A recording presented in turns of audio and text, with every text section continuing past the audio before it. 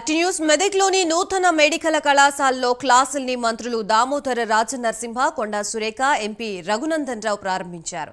అనంతరం కళాశాల మొత్తం తిరిగి పరిశీలించారు. తర్వాత విద్యార్థులకి యూనిఫామ్లు అందజేశారు. మెడికల్ కళాశాలలో తరగతుల ప్రారంభోత్సవంలో పాల్గొనడం సంతోషంగా ఉందని మంత్రి దామోదర రాజనరసింహ అన్నారు. వ్యాధులపై ప్రతి ఒక్కరికి అవగాహన రావాలన్నారు.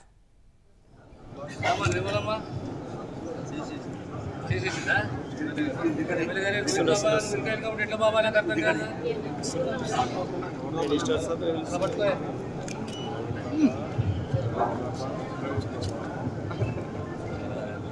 రాబోయే కాలంలో ప్రతి జిల్లాలో ప్యారెటివ్ కేర్ ఉండాలి మొబైల్ స్క్రీనింగ్ యూనిట్స్ ఉండాలి.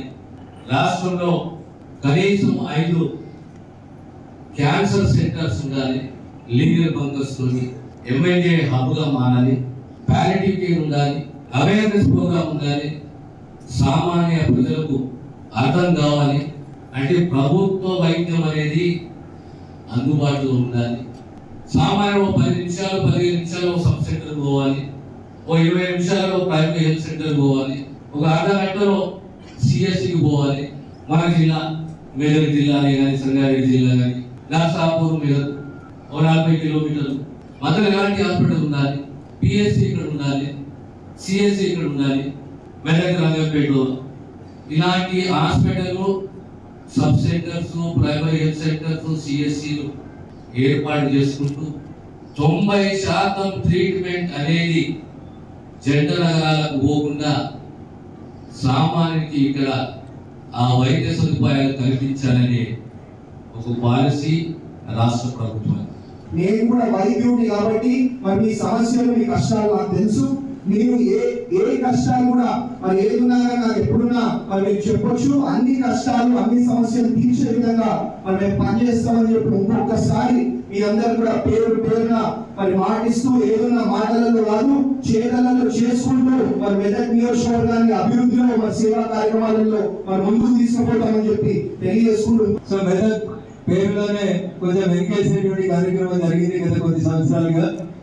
పేరుకి పాత జిల్లా ఎప్పుడూ అభివృద్ధి చెందాల్సిన జిల్లా అయినప్పటికీ కూడా ఆలస్యం చేసింది.